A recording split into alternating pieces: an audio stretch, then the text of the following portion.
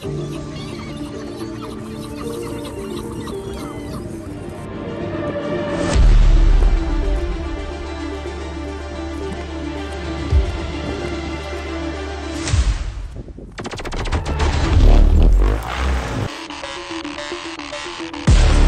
Всем привет на новом ролике. Сегодня мы наконец-то выезжаем в лайтовый полубоевой режим, чисто проверить резину, ну и конечно же, как там с нашим лифтом подвески, все ли нормально. Ну, на первом препятствии мы видим то, что лифт подвески был не зря. Угол въезда машинки позволяет творить достаточно многое, впрочем, центр тяжести сместился сильно вверх и ее немножечко калашматит на ухабинах.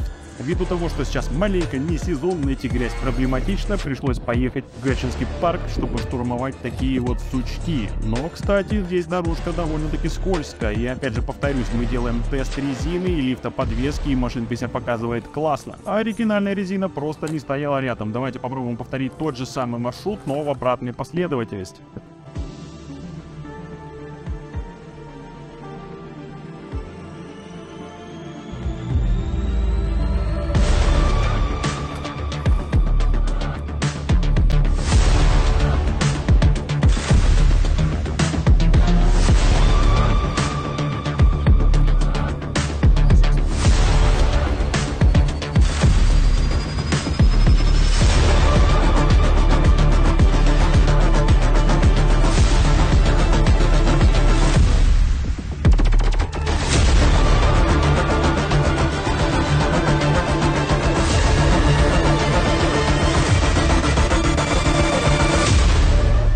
Мы делаем круг подсчета, чтобы развернуться и проехать к следующему препятствию. Это у нас будет такой слабенький подъем. Хотя для данной машинки это ни о чем, потому что если раньше она просто поперлась бампером, сейчас она спокойно его штурмует.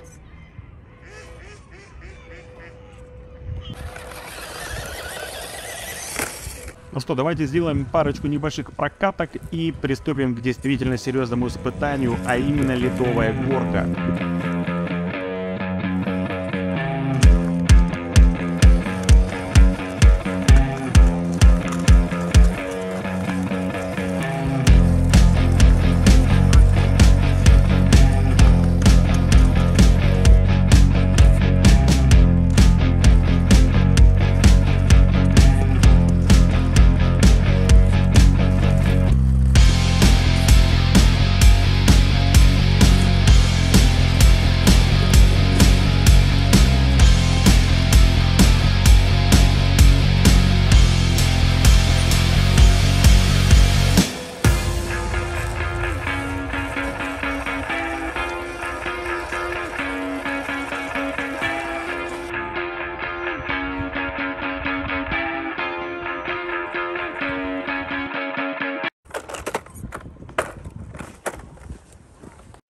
И сейчас, господа, мы подъехали к действительно серьезному испытанию. Эта горка под неслабым таким углом, она полностью ледяная, очень скользкая, что скоро я вам, кстати, докажу.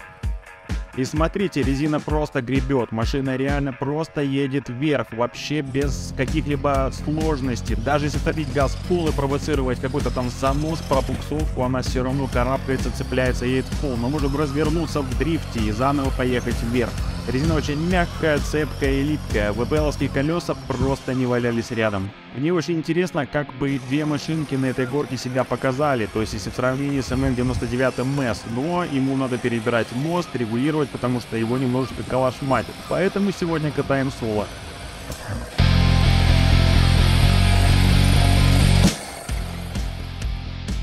Ребят, мне говорили в комментах, зачем я взял эти колеса, ведь нужно было взять от ВПЛ на 65 мм. Вы видели на видео, что он делает?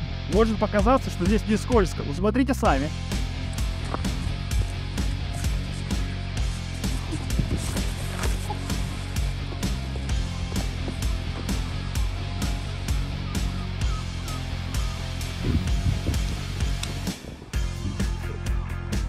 Достаточно скользко.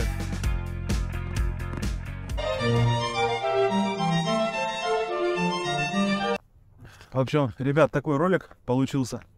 Я что хочу сказать, еще на примере с резиной, я думаю, это каждому становится ясно, уже понятно. В данном хобби, да вообще в любом другом начинании, приходите протальными дорожками. Оно, конечно, бывает сложнее, когда ты идешь по дорожке, которая для тебя не была кем-то уже преодолена, и кто-то не выложил гайд. Но зато это очень интересно. Можно взять, по примеру, с колесом на 65 миллиметров, просто поставить, и она будет ехать как у всех, как на видео, как то, что вы видели уже много раз. А можно попробовать что-то новое. Да, возможно, не получится, возможно, вы что-то сломаете. Но это опыт, и это интересно.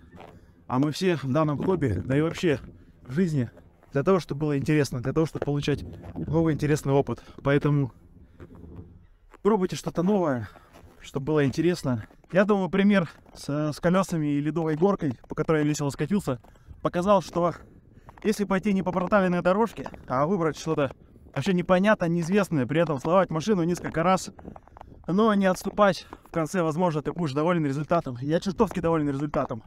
И я не хочу, чтобы вообще, в принципе, в моем хобби, в моей жизни что-то было как у всех. Хотелось бы насытить ее какими-то уникальными моментами, поэтому в завершении данного видео хочу сказать, насыщайте вашу жизнь классными уникальными моментами, будьте уникальны, живите интересно. Всем спасибо за просмотр, пока.